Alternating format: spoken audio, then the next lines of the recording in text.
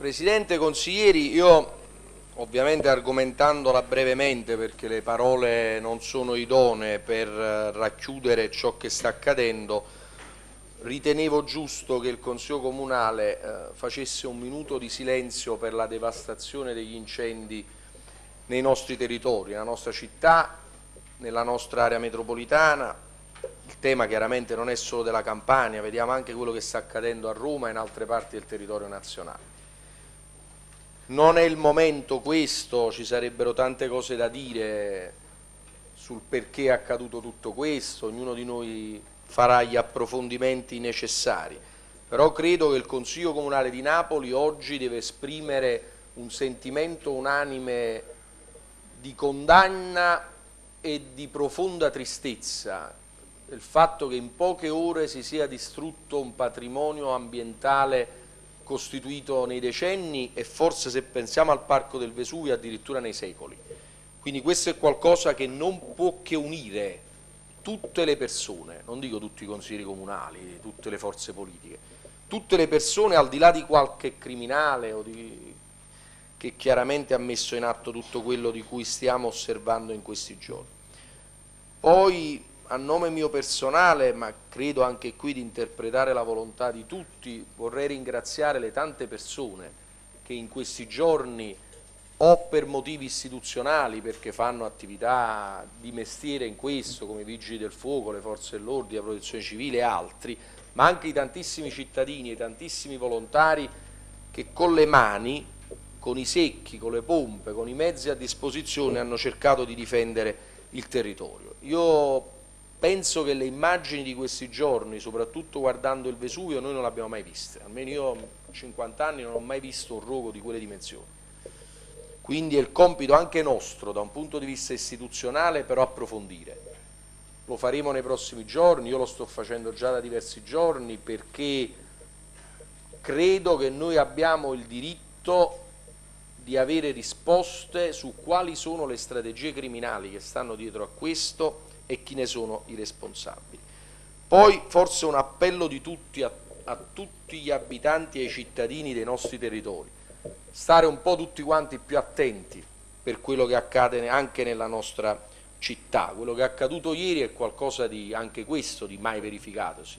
A macchia di leopardo sono stati incendiati da una parte all'altra della città, dalla periferia al centro, dalle colline alle aree periferiche, una serie di incendi dolosi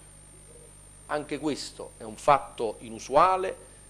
è un attacco alla città, evidentemente molto chiaro, su cui ognuno di noi deve fare delle riflessioni, si deve interrogare e deve dare da pubblico ufficiale o da incaricato di pubblico servizio o da cittadino delle risposte. Noi lo faremo, lo faremo per tutta l'estate, non ci muoveremo da qui e metteremo in campo tutte le azioni necessarie per difendere i nostri territori. Oggi però prevale non l'analisi, non prevale il dito nei confronti di qualcuno che ha potuto sbagliare, perché pure ci sono, oltre che dolo, c'è anche colpa in tantissime articolazioni, ma è il momento di far comprendere alla città come il Consiglio Comunale di Napoli condanna duramente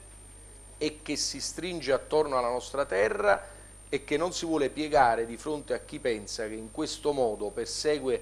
un interesse evidentemente economico o di altro tipo e che tutto rimanga indifferente. La cosa più pericolosa, e chiudo, quando accade qualcosa di questo è che non ci sia almeno una rivoluzione nelle coscienze anche dei più indifferenti. Quindi facciamo almeno il modo che questa tragedia immane che è accaduta non solo non accada mai più, ma che scuota le coscienze affinché si invertano le priorità di azione da parte di ognuno di noi come cittadini e come donne e uomini delle istituzioni. Quindi oggi non facciamo un minuto di silenzio per la morte di qualche persona, ma facciamo un minuto di silenzio per la morte di una montagna, che per quanto mi riguarda equivale a un omicidio. L'omicidio tu ammazzi una persona ed è punita in modo molto grave con l'ergastolo. Distruggere una montagna distruggi praticamente un patrimonio ambientale e distruggendo un patrimonio ambientale è come se distruggessi anche la vita degli esseri umani che derivano dalla natura. E anche su questo ricordiamoci che il legislatore negli ultimi anni ha innalzato fino a 20 anni con le aggravanti la pena per chi incendia un bosco. Quindi è dovere della magistratura e delle forze dell'ordine. Io l'ho chiesto al prefetto e al procuratore di fare di tutto perché noi dobbiamo sapere chi sono queste persone che hanno provocato un danno al nostro territorio e alla nostra vita. Quindi chiedo al Presidente e all'Aula a nome di tutta la città di Napoli, perché chiaramente noi qui la rappresentiamo qua, poi è ovvio che rinveste un'area molto più vasta della città di Napoli, ma noi non possiamo andare oltre perché è una sede istituzionale, un minuto di raccoglimento per la tristezza ma anche per il risveglio delle coscienze. Ringraziamo il Sindaco e sicuramente ci associamo a questa richiesta invitando l'Aula ad un minuto di silenzio.